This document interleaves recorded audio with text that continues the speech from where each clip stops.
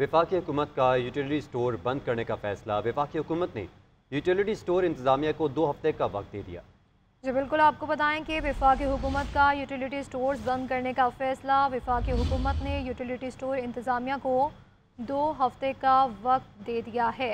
आपको अहम खबर दें कि गरीबों को मिलने वाली सब्सिडी बंद कर दी गई है और विफाकी हुकूमत ने यूटिलिटी स्टोर इंतज़ामिया को दो हफ़्ते का वक्त दे दिया है। विफाकी हुकूमत ने बेनज़ीर इनकम सपोर्ट प्रोग्राम के तहत मिलने वाला रिलीफ बंद कर दिया है। ये अहम अपडेट दें आपको। विफाकी हुकूमत का यूटिलिटी स्टोर्स बंद करने का फैसला। इसी पर मजीद बात करेंगे औरंगज़ेब काकर से। जी, औरंगज़ेब काकर, बताया गया ये फैसला क्यों किया गया? यूटिलिटी स्टोर्स क्यों बंद किए जा रहे हैं? जी, वफाकी हुकूमत का जो है वो निष्कारी प्लान के तहत यूटिलिटी स्टोर कॉपरेशन को बंद करने का फैसला किया गया है।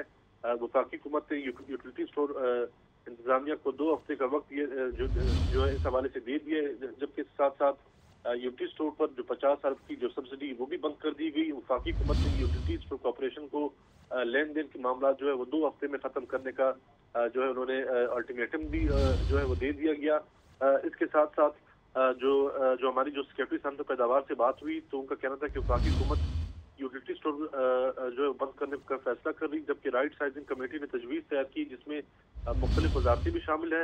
वफाकी हुकूमत के पास पैसे नहीं जिसके बाद जबकि जिसके बाद ये फैसला किया जा रहा है ठीक है बहुत शुक्रिया।